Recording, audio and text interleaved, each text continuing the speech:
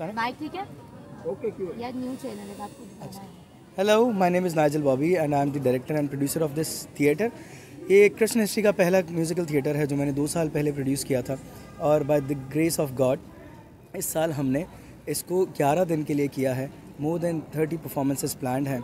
और इसकी सबसे खूबसूरत जो बात है कि कम्युनिटी के हर चर्च से हर इदारे से इस वक्त मोर देन 70 आर्टिस्ट की कास्ट है हमारे पास, जो हमने छोटे छोटे बच्चों से लेके, स्कूल से लेके मिनिस्ट्रीज से लेके, हमने हर जगह से चर्चेस से बच्चों को इकट्ठा किया और पहला क्रिश्चियन प्लेटफॉर्म बनाया है, जहाँ पे पूरा क्रिश्चियन टैलेंट को हम प्रमोट कर सकते हैं। क्योंकि एज ए माइनॉरिटी हमें बहुत रेयर केसेस में अपना टैलेंट शो करने की जगह मिलती है।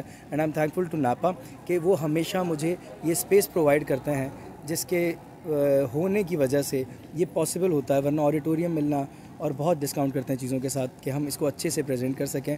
और सबसे अच्छी बात ये होती है कि थ्रू दिस थिएटर हम एक मैसेज जो है पीस का वो बहुत सारे कम्युनिटी कम्युनिटी तक पहुंचाते हैं और बहुत सारे अ, ऐसे लोग जो क्रिश्चियन बिलीफ से ताल्लुक़ नहीं रखते। मुस्लिम दोस्त हमारे हिंदू दोस्त पिछले बहुत सारे दिनों से वो विज़िट करते हैं देख के जाते हैं अप्रिशिएट करते हैं। तो फाइनली एक ऐसा प्लेटफॉर्म बनता है जहाँ हम अपने आर्ट के थ्रू और लोगों को मिलाते हैं और मिल के एक ऐसी गवाही जो मसीह के नाम की होती है और जो हम एक बींग क्रिश्चन अपना एक करेक्टर के थ्रू प्रेजेंट कर सकते हैं, वो हम यहाँ दिखाने की कोशिश करते हैं। Thank you thank you